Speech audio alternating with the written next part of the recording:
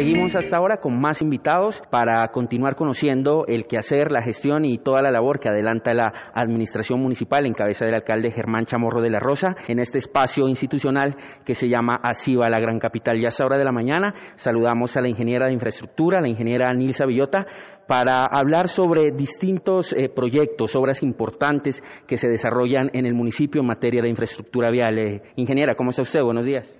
Buenos días, muchas gracias por el espacio que nos brindan para informar lo que está haciendo infraestructura.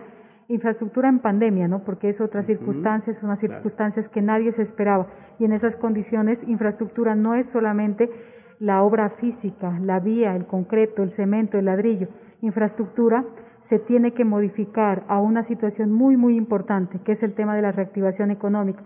Y en la reactivación económica, un indicador que en este momento tenemos que tener en cuenta es la generación de empleo. Entonces creo que todos los proyectos tienen que enfocarse para eso. Ustedes saben que en este tiempo de pandemia toda la gente está preocupada por el contagio, por la mortalidad, ¿no es cierto?, del COVID pero también está muy, muy preocupada por el tema de la alimentación y el sustento para sus familias. Y en esa situación me parece que infraestructura en la línea del doctor Germán Chamorro está haciendo un gran papel porque todo se ha enfocado en la reactivación económica, en la generación de empleo, en la firma de convenios solidarios, no solamente en Adoquín, hasta aquí hemos firmado seis convenios solidarios para Adoquín, pero el tema va más allá.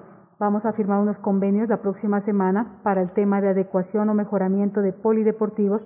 De igual forma, eh, para el tema cultural y también unos dos convenios para el mantenimiento vial con mano de obra. Entonces, créanme que el lado sensible de infraestructura en este momento es aportarle a la reactivación económica con la generación de empleo. Ingeniera, ¿cuáles son los sectores que inicialmente se van a beneficiar con la adecuación de estos polideportivos y salones culturales?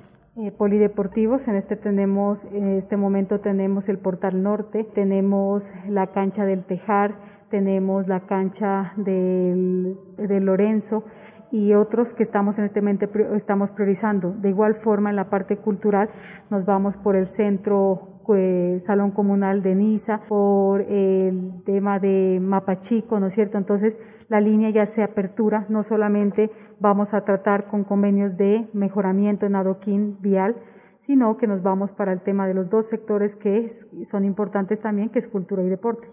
Y la idea es seguir beneficiando a otros sectores y también extenderse al sector rural. Importantísimo decirles a ustedes que cada convenio solidario se ahorra el 30% para hacer más obra, para generar más empleo y hacer más obra. Ustedes saben que una obra pública siempre tiene unos ítems que son administración, utilidad e imprevisto.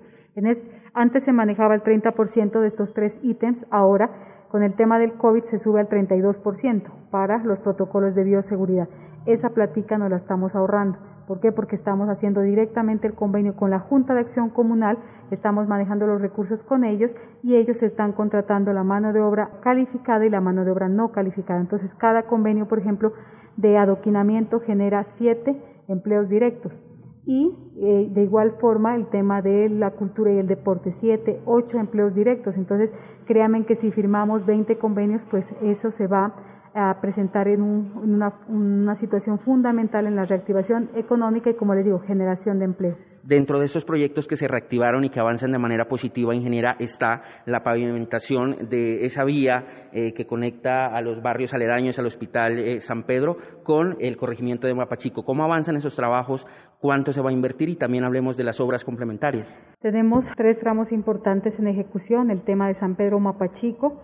Eh, la administración pasada financió todo el tema de la vía, de la calzada el señor alcalde hace una adición presupuestal de 240 millones de pesos para garantizar las obras de urbanismo.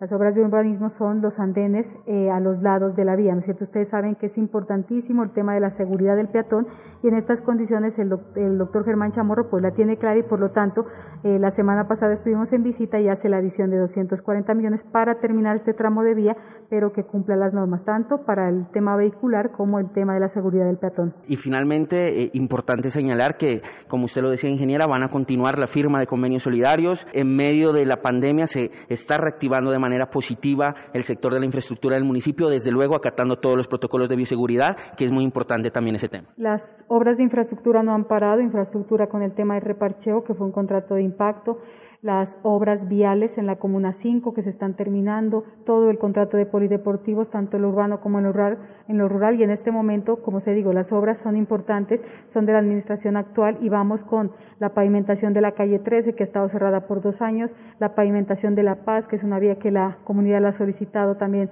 reiteradamente, de igual forma eh, la pavimentación de la carrera 26 frente al éxito, son obras importantes y les digo que estas tienen un plus adicional que hay que enaltecer es una gestión que el doctor Germán Chamorro hizo con la concesión Unión Vial del Sur y esta nos dona más o menos 400 toneladas de mezcla asfáltica y eso eh, definitivamente son como darnos 500 millones de pesos y la administración adiciona los contratos que tiene, pero solamente en mano de obra y equipo. ¿No es cierto? Y en esas condiciones la Administración pone 130 millones y la concesión alrededor de 500 millones, que creo que es una de las gestiones muy grandes y hay que enaltecerla porque ahí es donde se hacen las alianzas público-privadas, ¿no es cierto? Y Mil gracias, ingeniera Nilsa Villota, secretaria de Infraestructura del municipio, por atender esta invitación. Muchas gracias a ustedes.